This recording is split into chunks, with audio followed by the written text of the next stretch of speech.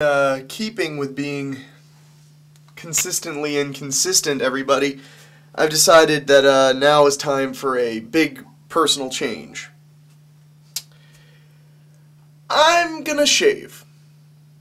I have accumulated quite a uh, facial hair extravaganza, uh, and uh, I've decided to cut it off uh, as protest to end the war. Yeah, that's why. That's why. No, um, because I want to remain consistently inconsistent, and also uh, I want to look young. Somebody told me I looked thirty. Fuck that. So I'm shaving.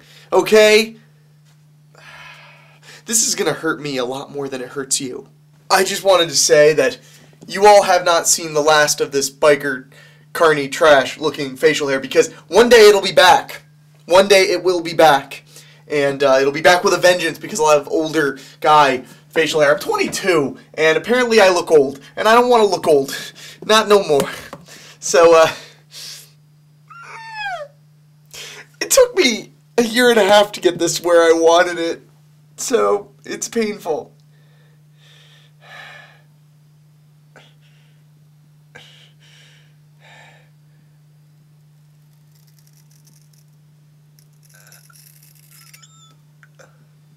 Oh, I really did it! I can't believe I really did it!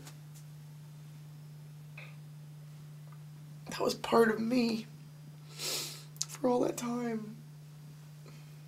Now I just cut it off.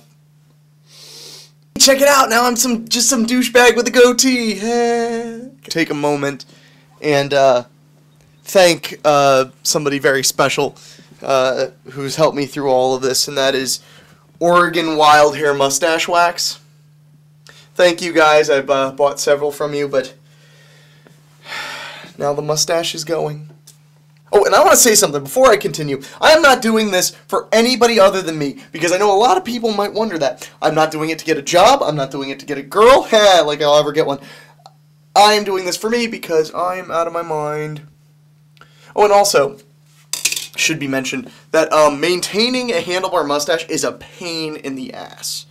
Um, you have to keep them even, which is almost impossible. Uh, in the heat, they really don't maintain. So I'm kind of excited to not have a mustache anymore. Look at me, I'm just some douchebag with a chin hair.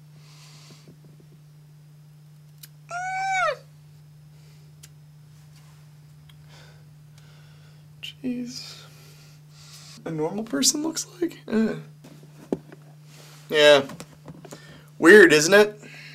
Alright, here go the cowboy sideburns. For now.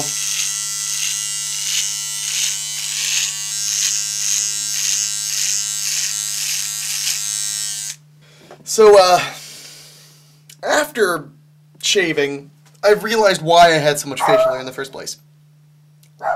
I'm ugly. God damn it, I'm ugly.